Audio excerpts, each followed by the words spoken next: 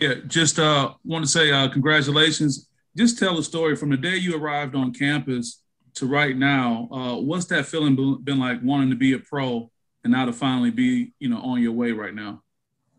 I mean, it's just a feeling of excitement. I mean, it's it's a blessing to be here. So, I mean, everything I've been through here, you know, trials and tribulations, things of that nature, and just today was a blessing, you know. Got it. And, and if you could go back to your younger self or someone who was, you know, middle school uh, athlete playing football, what would you tell them to help them along the way? You talked about the trials and tribulations. What could you advise them as it relates to getting through those trials and tribulations? You know, just stay on the path. You know, it's gonna be bumps and bruises, all type of things. Just stay on the path. All right, thank you, man. Best of luck to you. Thank you.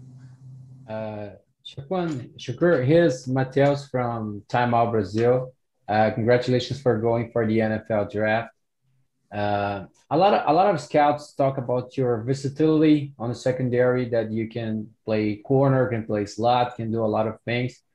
Uh, how do you think there's going to be a smooth transition for you in the NFL? Like, what spot do you see yourself better, like in the first year, or in, for understanding better the game?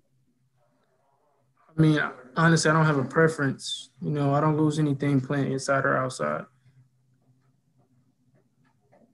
And how do you think that the pro day can help your players? Like because you don't have the combine and all of 2020 season was totally different. How do you think that the pro day can help your your in this process of the draft?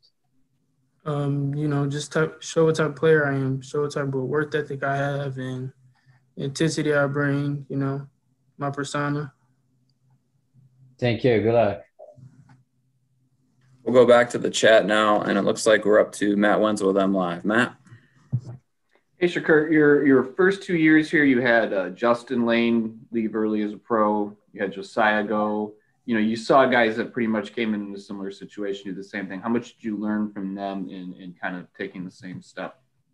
You know, them guys kind of paved the way for me. You know, especially Josiah, he was my old roommate, so we used to talk a lot. You know, he helped me with the plays and Justin was like uh, my big brother when I came on campus. So he helped me a lot through the path too. And did you get uh, feedback from the advisory committee before declaring? And if so, I was wondering just, uh, if you could share what kind of their, their view of you was. Um, honestly, I didn't even get it back. So I didn't get it.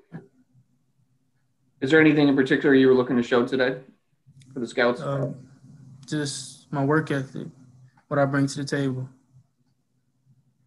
Thanks, appreciate it. Our next question will go to Matt Charboneau, the Detroit News. Hey, Shakur, obviously, you know, we saw how you performed on the field, especially last year. When when you played that well and you've shown out on film, do, do you actually get a little bit nervous in these sort of pro day settings where, you know, it's a little bit different, where it's just times and stopwatches and all that? Is is it different, how, or how much different is it? No, I I'm I'm to the point where pressure is all in your mind, you know. So, do you did you tra- train specifically for the? I know there's no combine, but a lot of the same sort of drills. Did you do specific training for this as opposed to just what you would normally do? No, it was the same process. All right, thanks, man. Our next question will go to Chris Solari, the Detroit Free Press.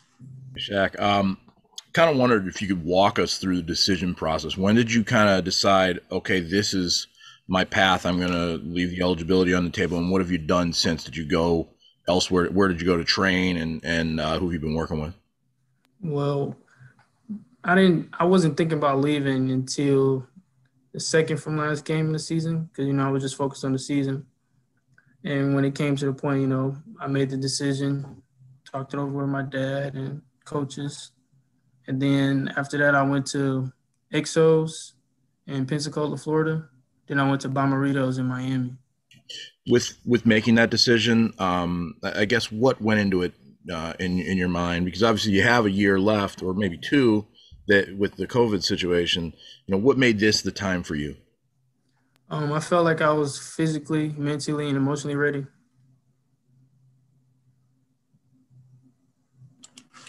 Our next question will go to Alan Sanders. Yeah, just talking about your relationship with Justin Layne, I wondered if you've talked to the Steelers at all in this process. Yes, I have.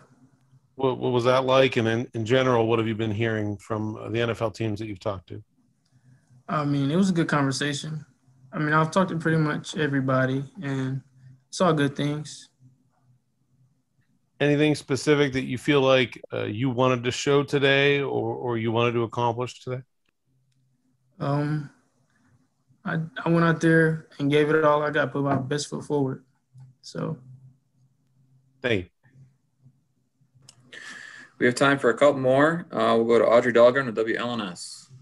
Shakur, who did you talk to the most when it came to making your decision? And maybe, obviously, a big factor is your own to to, to leave, but who maybe helped you and uh, talked you through most of the process and what it would be like to leave and kind of uh, not hold your hand, but you know what I mean? Who who helped you the most in that aspect?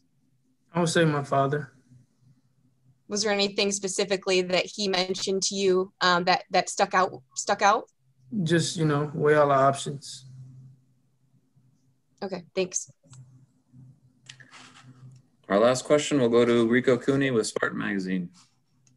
Hey, Shakur, congratulations on your day. Hey, uh, can you talk about if you had a little better vibe from one or more teams? And also, um, do you have any uh, visits uh, uh set up uh, for any kind of, you know, uh, interviews or training? Um, we're not doing the visits this year because of COVID, the COVID situation. But I mean, I got the same vibe from everybody. You know, every everybody. It's it's a lot of good dudes in the business. You know, so it's all so good. You, so just quick follow up. So would you be doing like maybe a, a, a second Zoom meeting with teams? Um, I mean, through the process, yeah, we'll be doing more Zoom meetings and talking to them. Yeah.